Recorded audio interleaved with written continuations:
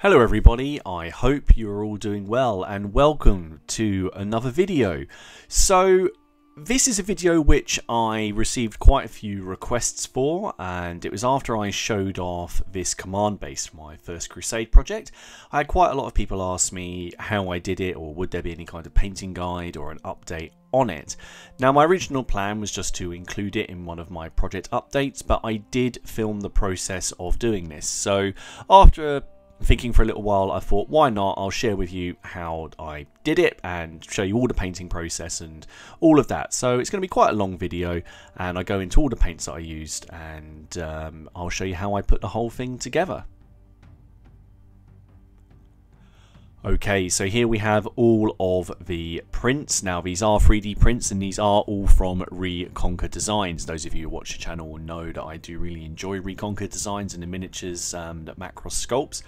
And this is the St. Ramon miniature um, and uh, one of the Villanos responding miniatures. I'll leave links to all of these down below along with a complete paint list as well for everything I'm going to use.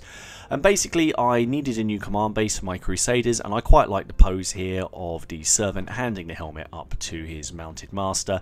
I thought the servant could be holding a banner and you've got the other guy in the background, another retainer getting on his horse. So I have printed all of these in Tech ABS Navy resin using my Anycubic, Anycubic Mono 6 and uh, I'm really really pleased with this 3D printer. I really like how it comes out. So once all of the miniatures are cleaned up and they've been cured I undercoated them with a Chaos Black GW spray and then I Zenithal highlight them with matte white from Colourforge just hitting it from above or at a slight 45 degree angle I start by painting the horses and for this horse I decided to make a sort of a nice chestnut coloured horse so I'm using the Gore Grunta Fur contrast paint which is one of my favourites and I liberally apply this across all of the areas of the horse flesh. The second horse, I decided I wanted a nice sort of sandy colour, so I use uh, Skeleton Horde, again another contrast paint, and I thin this down about 50-50 with contrast medium, and I do it in two coats. Once it's dried, I go back to the original horse and I put Black Templar all over the mane and the tail. And then I use Gore Grunta fur for the mane and the tail on the sort of sandy coloured horse, which just gives it sort of a nice contrast between, um, you know, the base colour. Sometimes you can, you know, go a little bit wild, but I like to kind of keep a sort of a, a little bit of a uniform look. Using Panzer Aces Light Rust, slightly watered down, I start to highlight the uh, the chestnut coloured horse, trying to focus on the sort of upper areas of the muscles and sort of the hindquarters and just areas where there's slightly less in shadow because the contrast paint has already done its shading um, in the other areas and you can use it as a bit of a map to see where to highlight. Now using the P3 paint Menoth White, which is a sort of just bit of an off-white colour.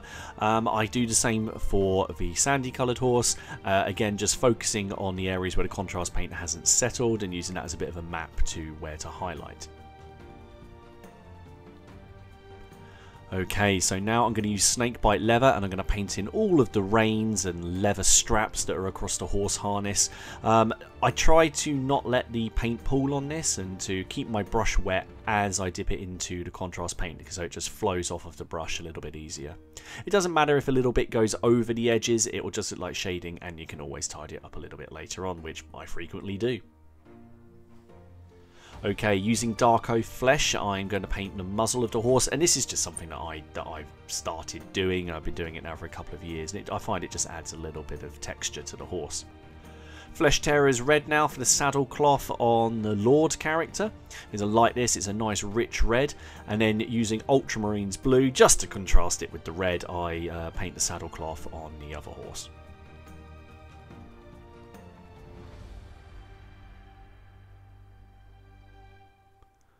Moving on now, it's time to work on that really nice cloak on the Lord, and I use a mix of Skeleton Horde and Contrast Technical Medium uh, to water it down and just let that sort of run all over the cloak, and then I uh, I try to pick up the excess as much as possible, um, and that's just to give a nice base coat, and we'll work this up to a nice sort of off-white. For the servant, I decided to look quite good in black robe, so I go to uh, Black Templar and I paint in the sort of the main sort of robe or habit um, that's at the front. These guys are sort of a military orders knight, so they do have that look, sort of priestly look about them.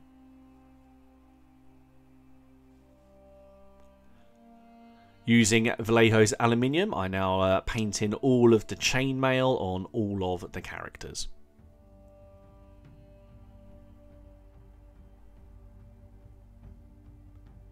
This paint can be quite runny, so I find it best to not overload the brush and to uh, basically put a little blob on and then apply it to the miniature and then work that out into sort of the various areas around it.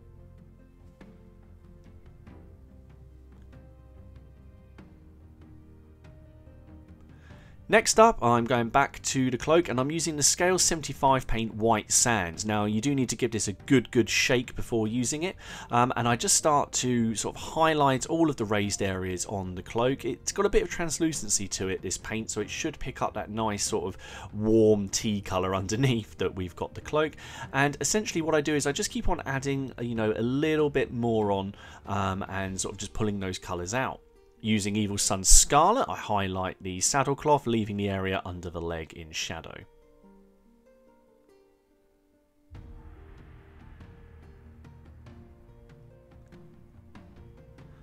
Now I'm going to use snakebite leather just to uh, to paint in that strap that's coming across the top of the cloak and then but therefore running around over his chest. And this is where the shield will attach to later.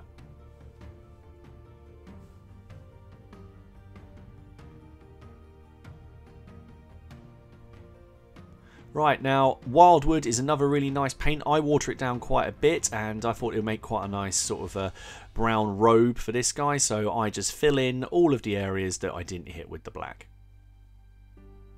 making sure to pick up excess paint. Now another colour I really like is the Nighthaunt Gloom from Citadel and I thought this guy would look quite nice in a blue tunic, make him kind of colourful compared to his servant. So I put the Nighthaunt Gloom all over this chap's tunic, making sure really hard not to get any sort of spread out onto the horse or anything else that I've painted. While that's drying, I use snakebite leather again and I start painting in all of the straps on the, uh, the guy who's mounting his horse making sure again not to sort of spread any onto the, the metal work that we've already base coated.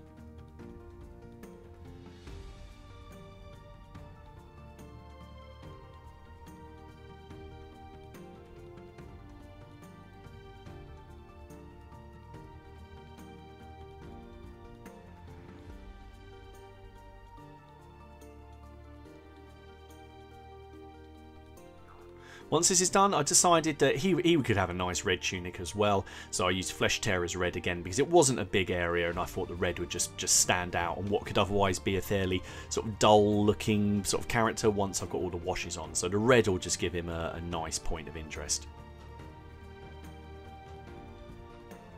Okay, moving on, I go back to the uh, the tunic now that that's dry, and using Nighthaunt Gloom mixed with a little bit of Ulthuan Grey, also from Citadel, um, I just start to highlight up the tunic. And basically, what I do is I start adding in a little bit more Ulthuan Grey. It's it's basically 50 paint to 50 water, um, and you can really, really start to pick these out. Now, doing a 3 to 1 mix, so Ulthuan Grey 3 parts and 1 part Nighthaunt Gloom. This is the extreme highlight for uh, for the, uh, the tunic so you can pick out all of these nice folds and creases in the cloth. Using Evil Sun Scarlet, go back and just give some extreme highlights to the tunic on the mounting miniature.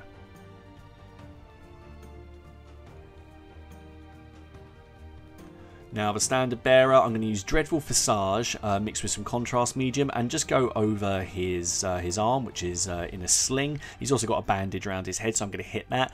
And that's because I've already got the cloak, which has got quite a creamy feel to it, so I thought this would be a bit of a different white. Now Dark Reaper is a great paint for highlighting black, um, or I find it is. It gives it sort of a bluey black texture, um, so I use that quite liberally to pick out the highlights where I'd put the Black Templar down before.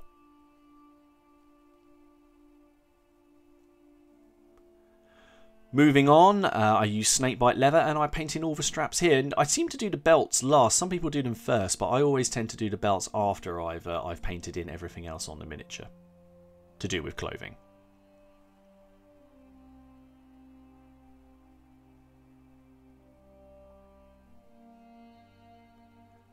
Now with the mounted miniature, I just use Wyldwood and I paint in his, his boots and um, the lower parts of his legs. These are going to be obscured anyway on the base, but this is just a nice colour just to, uh, to get that work done.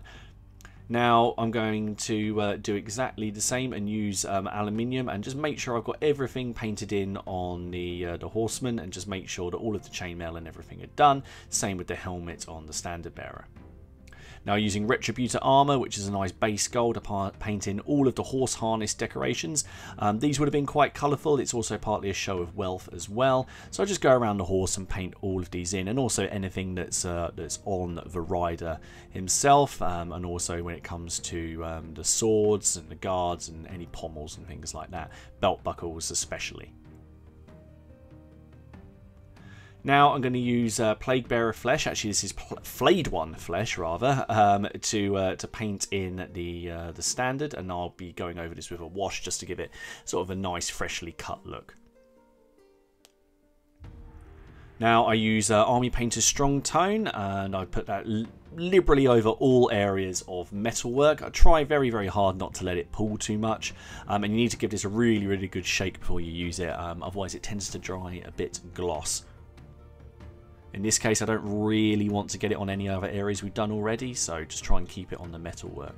Now using Seraphim Sepia, that's a Citadel wash, I just go over that banner pole.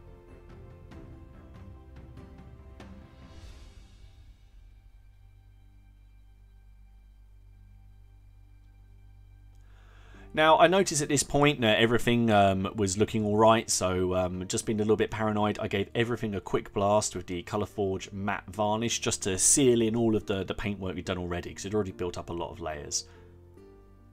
Now using Ulthuan Grey, I base coat all the areas of flesh because it's uh, going to be time to get on with all the faces and hands and everything.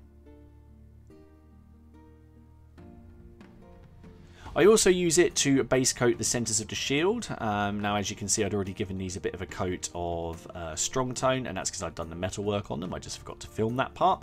Um, but because I'll be using little big men transfers on this, I find they work best over a sort of off-white undercoat, and Ulthuan Grey is perfect for that.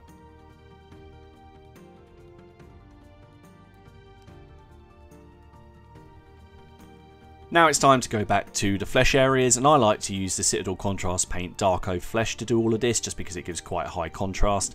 So I just go over all of the hands, all the facial areas and try very hard not to get it to splash onto anything that we've already done. Beards and hair and that I can sort of re-base coat later.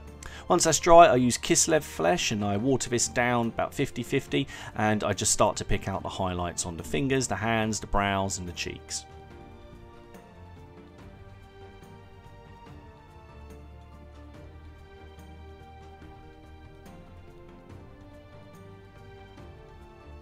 I just use some Ulthuan Grey just to dot in the beard and the moustache again. And then I come back with Flayed One Flesh and just do some water it down and just do some extreme highlights on the brow, the nose and sort of the upper parts of the cheeks.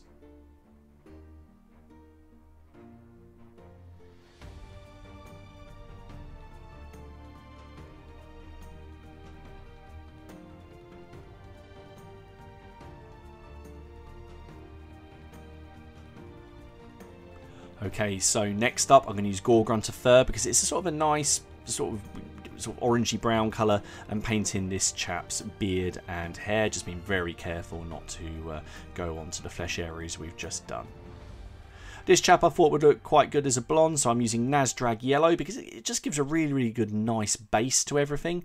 Um, and then later on when I do some of the dry brushing, that will uh, sort of get rid of that bright yellowness that it has at the moment and make it sort of a bit more of a sort of a sort of a greyish blonde.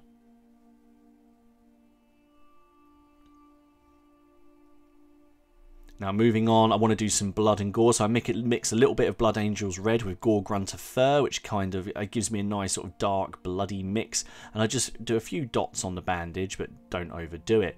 Now I used a Dark Star Paint Braid Gold for a lot of my highlights, so I use that to highlight the cross on this chap's chest and all of the things where we'd put the Retributor Gold earlier. I just had a small dot of this Braid Gold just to make it stand out. Mournfang Brown is my go-to brown for dry brushing and a bit uh, like when you're doing highlights, I add this to areas where it's going to be a little bit dustier when there's been a little bit more build up, so the bottom of the cloaks and tunics and uh, sort of the underside of the horses.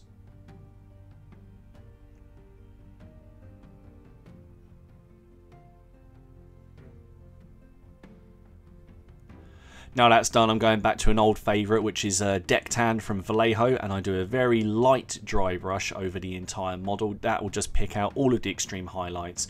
Um, it will give the idea that things are a bit worn and torn, and that's what I wanted from this command group. So, of a Crusader who's been going for quite a while, you know, he's travelled over a lot of Europe and he's into the Holy Land. He's got dusty, he's tired, but he's still got his loyal servants with him um, who are basically keeping him going on this long journey.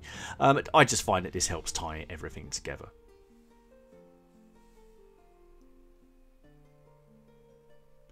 Now it's the time that people don't like, but I use uh, Ionrach skin and I dot in the uh, the white of the eyes on the uh, on the rider, on the chap handing up the uh, the helmet, and also the chap who's mounting. And then also don't forget to do the horse as well and then I use a little dot of Abaddon Black to do the pupil. Now it's time to work on the shields and I've built up quite a sort of store of shield designs and flags across all my projects but I decided I just wanted some typical designs for this so I thought the chap on the horse could have this sort of nice black cross on, on his shield. Now I'm using little big men studios transfers and these shields I should have said are actually Victrix shields and that's because I have absolutely loads of them so I didn't see the need to print those off and use them. However if you do get the files from Reconquer Designs they do come with shields as well. So I've been very careful. I cut around the edge of the transfer and um, cut out the banner as well. And what you do is you just peel off this uh, this backing and it, you stick it face down. You do this uh, onto a piece of paper for the flag and for the shield you di directly put the sticky side down over the shield. Now, once this is securely on, you just use uh, a bit of uh, water on, I use an old brush, and uh, you paint that all over it.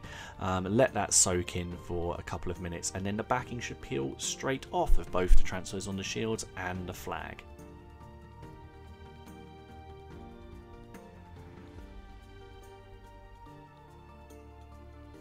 Using a piece of kitchen towel, I'll dab this dry just to make sure there's no air bubbles or anything sort of moving around where I don't want it to.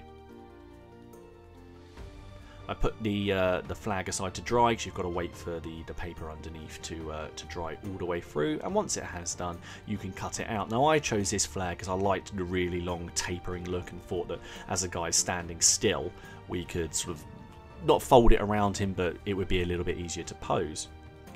What I do before we start to apply this, if you've seen my video on making flags, and I'll, I'll leave a link below, I paint the back of the flag, and I'm using deck tan to do this because it looks a sort of parchmenty or sort of off-coloured tapestry colour.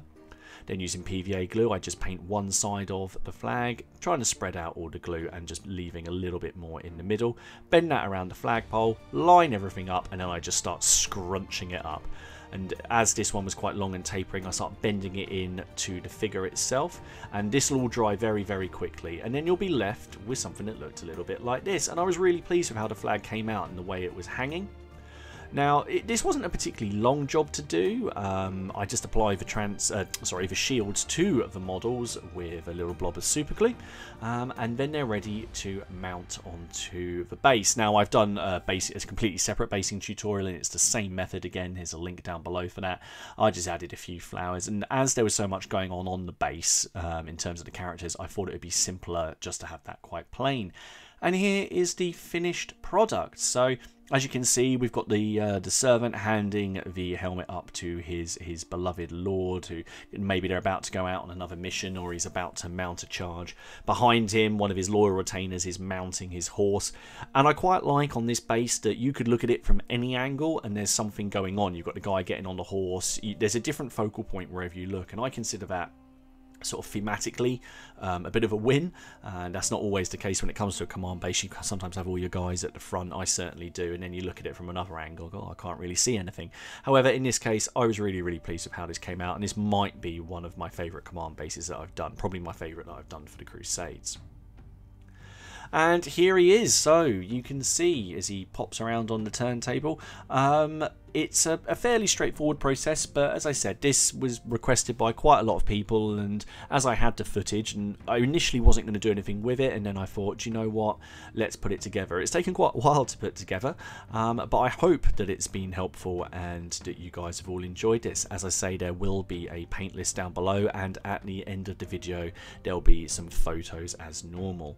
Um, anyway, let me know what you think of the command base and the models. I really really, really like the Reconquer models. Um, there are a lot of really, really nice designs on there, especially if you're doing um, sort of this period, even if you're doing some 1066 stuff um, and you were doing some things for England, you would be able to find some bits and bobs in here. I find that these serve my needs perfectly for my project, um, and I'd be very, very tempted uh, to pick this up and do a Saga Force if I didn't already have a Saga Force um, going. Um, the models themselves were very very easy to print. They come pre-supported. Um, if you go on there, you can also see you can also get them in 15 mil. Um, and this is just one of the benefits of 3D printing. It was very, very easy just to realize I needed another command base, go and select the models and um, just get them going. Now, if you join the Reconquer Designs Patreon, uh, which I think is about eight or nine dollars a month, then you will get monthly uh, models um, sent to you directly via Patreon, which you can either print or get printed. Now, if you don't have a 3D printer um, to get this stuff, don't worry he does sell commercial licenses, and I'll leave a link down below to uh, Grey Green Customs, who went up before I had a 3D printer, is who I went to to get all of my prints. And uh, Graham over there does a fantastic job, um, and you can quite easily get hold of some of these. Anyway, as I say, thank you um, for sitting through this video. I hope you guys enjoy it. Um, it was a lot of fun to put together. I do enjoy doing the painting videos, um, but if there is anything you want to see or that you'd like to know how I how I do it and I didn't cover it in this video, then just let me know down below in the comments. Anyway, I hope you guys all keep well, enjoy the photos, and I will see you all again soon.